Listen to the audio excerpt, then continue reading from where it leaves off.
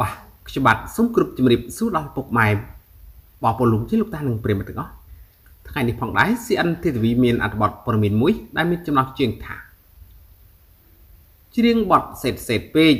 អួងសូរិយាភ្ជាប់ពីបាត់គ្រាន់តែនិយាយដល់បទនឹកអូនបានត្រឹមស្រមៃ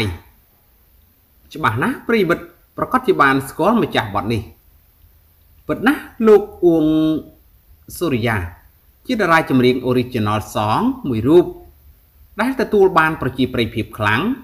ហើយបទនីមួយៗរបស់លោកសុទ្ធសឹងតែពីរោះផងដែរជាមួយគ្នានេះដែរ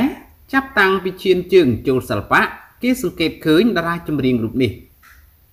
មិនធ្លាប់បានបង្ហាញមុខគូស្នេហ៍ឲ្យហ្វេនបានឃើញនោះទេពូលគឺលោកអួងសូរិយា តែងតែផ្ដោតសំខាន់ទៅលើការងារជាតារាចម្រៀង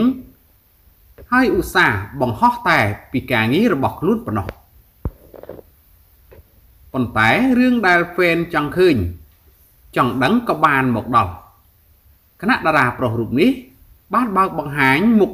គូអនាគតរបស់ខ្លួន ហើយគេដឹងទៀតថា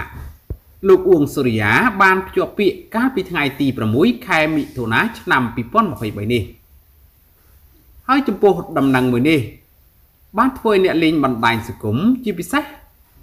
Fan Fan រំភើបជំនួសគ្រប់គ្រប់គ្នាតែម្ដងបាទហើយអត្ថបទព័ត៌មានដែលខ្ញុំបាទបានជម្រាបជូនខាងលើនេះក៏មានតែប៉ុណ្ណឹងសូមអរគុណសូមជម្រាបលា